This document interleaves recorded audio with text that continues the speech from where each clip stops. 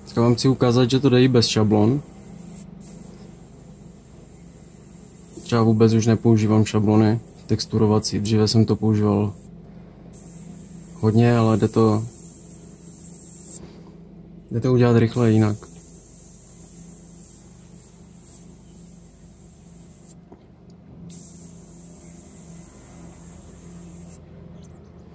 Koho by to třeba zajímalo, tak můžu prozradit nějaký svůj mindset.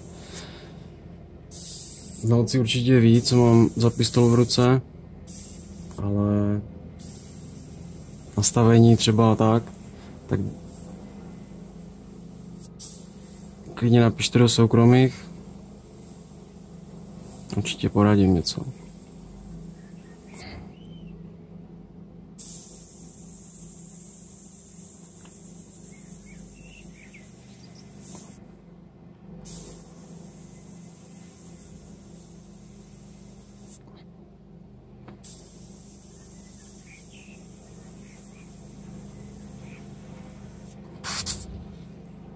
Důležité je si držet čistou jehlu.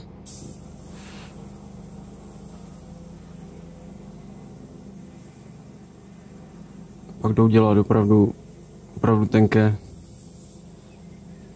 tenké linky, tečky.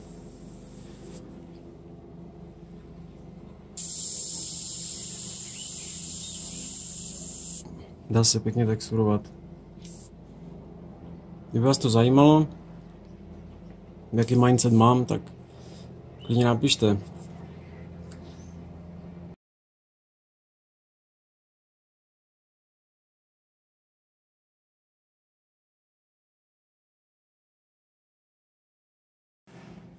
Co se týče toho texturování, tak myslím si, že to je základ hloubky malby, takže se snažím opravdu vytexturovat co nejvěrněji ať se na různé materiály povrchu třeba. Nevím, o to si s tím prostě vyhrát.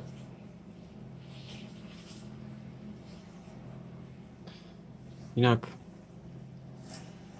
k tomu mindsetu něco. Já mám tlak, správně by to mělo být dvě, dva bary, já si dávám 2,1, protože používám často bílou, která je opak, to znamená, že je krycí, má hrubší pigment, takže při tom vytlačování při těch malých tryskách, jako má mikro 0.18, tak už je to problém. A lepí se to hodně na, na jehlu. Jinak používám tento nástroj většinou. Je to staré SB Mikron. Tady trochu víc. No a kompresor mám značky Bambi se kterým jsem naprosto spokojený. Nepřehřívá se, je sice olejový, ale neprská. Takže co si budeme povídat, je to i o tom materiálu, samozřejmě.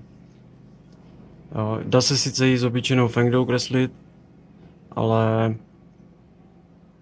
ten mikron jako tu přesnost tam fakt zaručuje lepší. Tak jo, tak zase příště.